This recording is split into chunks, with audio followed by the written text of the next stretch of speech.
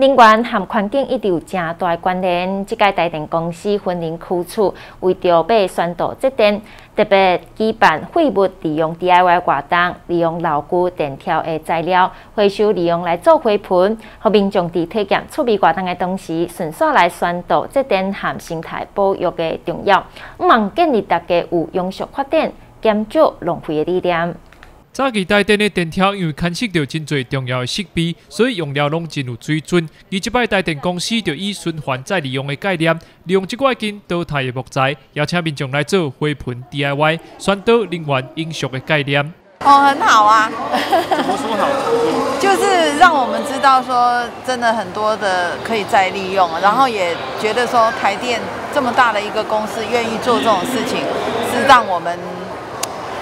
可以推广，很好啊，本来是最好的诶废物利用啊，对不？这是嘛是叫废物利用啊，啊无这可能因为这大家都无咧喝茶，你知影？啊无没错啊。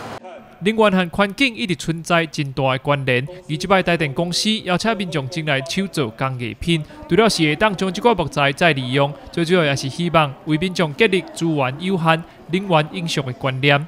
啊事实上这些废弃的木材里面的和内外面把它刨除掉的话，里面都还是非常好的材质，可以再继续利用。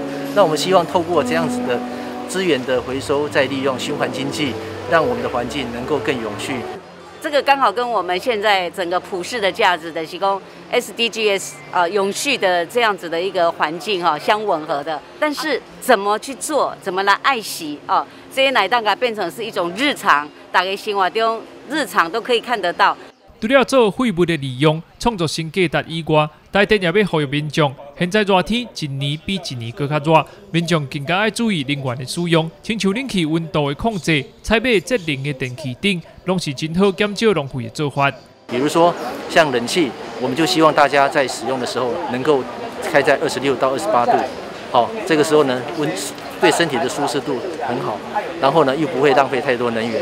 那除此之外，我们也可以哦，在呃电热水器在夏天的时候也也可以把它拔掉，用那个快煮壶来取代。哦，类似这些都是小小的改变，都可以让我们的那个生活更美好，但是呢不影响我们的生活的舒适度。能源有限、减少浪费的概念一定要量早来建立，自每一个人做起，才是达到能源永续循环再利用上好的办法。记者邓永华参报道。